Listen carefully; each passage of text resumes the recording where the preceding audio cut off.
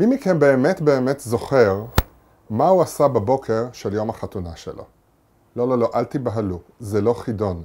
אבל זו שאלה שככה מוצרט, אחד המלחינים המדהימים ביותר שיש לנו בעולם האופרה, עם השאלה הזאת הוא פותח את האופרה נישואי פיגארו.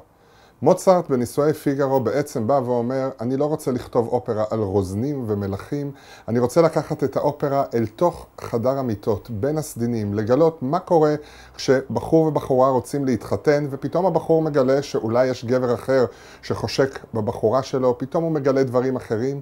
הבחורה שאוהבת אותו מאוד, פתאום מגלה שמישהו אחר גם מחזר אחריה, ואולי זה לא כל כך נורא, ואולי זה דווקא נחמד. נישואי פיגארו, אז כן, בסוף פיגארו מתחתן, אבל מה קורה עד לחתונה?